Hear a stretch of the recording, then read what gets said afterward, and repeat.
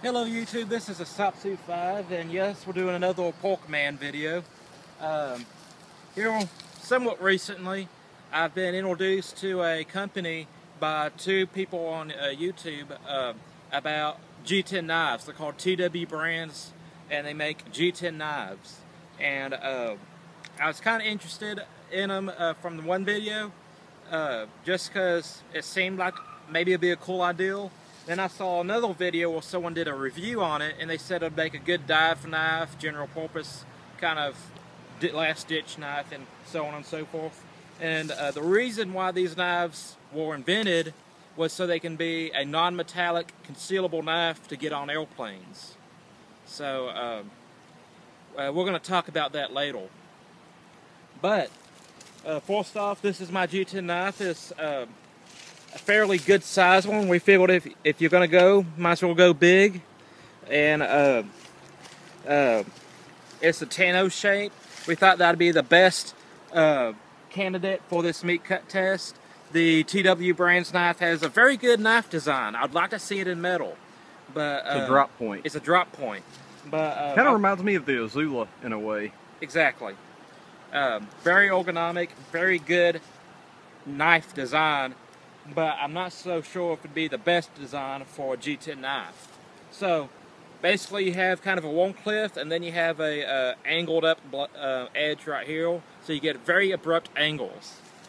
Um, and we're going to test this with several different cutting mediums to see if it'd be a good one self-defense knife and two a good knife to carry with you if you're scuba diving. I'm a scuba diver so this interests me and I want to learn uh, as much as I can of this knife's ability before I take it out diving because this non-metallic is obviously not going to rust. I will say this. Uh, my brother made this knife for me. Got a little bit of pork loin in my eye. uh, but my brother made this um, knife for me uh, by my request. I commissioned it. Uh, and um, although he's a very good knife maker for as metal knives are concerned, neck knives. We are probably not the most knowledgeable when it comes to G10 knives. So, uh, I'm not saying this is better or worse than a uh, TW Brands knife. I don't know, I never handled one. Maybe later I will. But for right now, this is what we're using on this test. This is a very small pork loin, um, wrapped with saran wrap to represent skin. And uh, First, I'm just going to do a little uh, thrust. That took very little effort.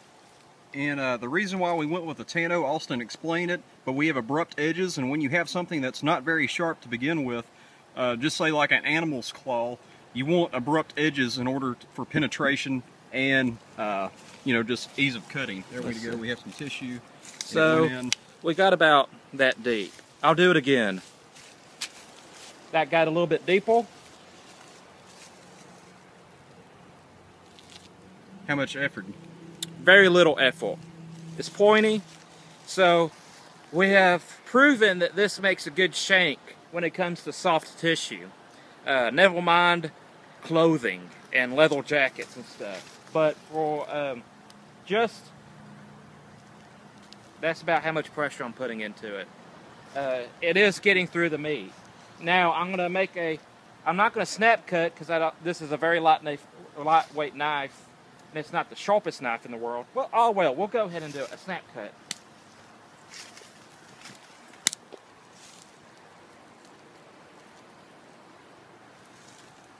Uh, you think you just cut the saran wrap or the actual? Let's see. It's barely digging into the meat. It's just cutting the saran wrap. So you, are probably going to get some scratches with um, uh, a snap cut, maybe. Yeah, those are pretty superficial. Uh, the, the, saran wrap makes it look exaggerated, but when we actually get to the, uh, the meat, let's see, focus, one second. Actually get to the meat, there's not a whole lot of damage going on. Okay, so now I'm gonna make a uh, a contact slash with this area right here? I, I would start with the bottom of the tanto and make it slide. Okay.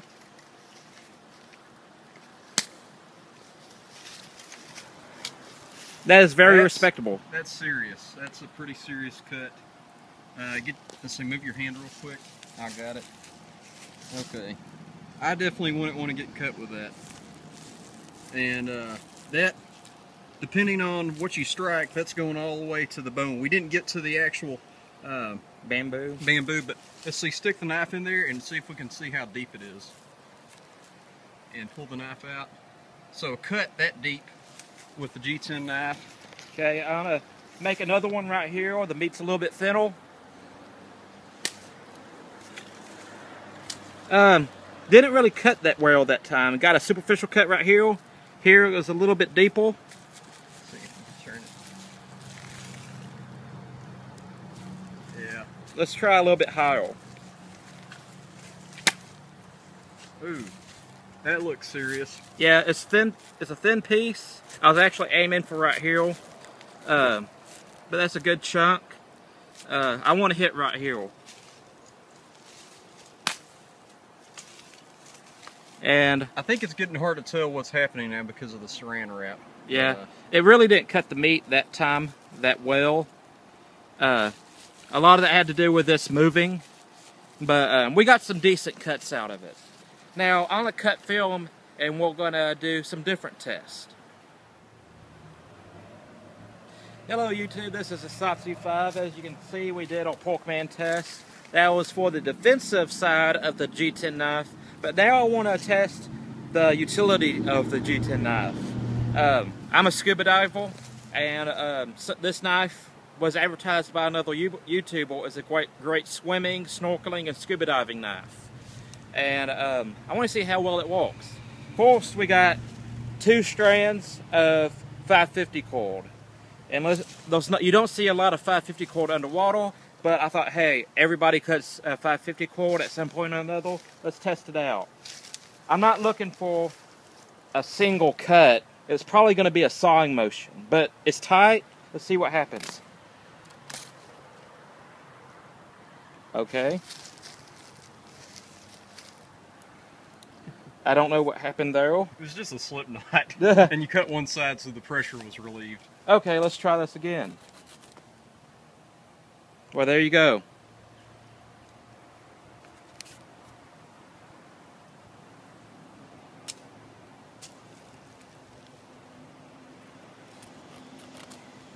It'll cut uh, a 550 cord with a sawing motion.